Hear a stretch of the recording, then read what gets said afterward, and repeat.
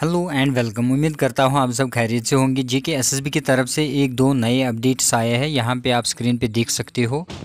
Issuance of admit card to the candidates for type test for the post of junior assistant schedule to be held from fifteen April तो ये पूरा list आप official site पे check कर सकते हो। तो एडमिट कार्ड कल से अवेलेबल होंगे। कल से आप एडमिट कार्ड भी डाउनलोड कर सकते हो।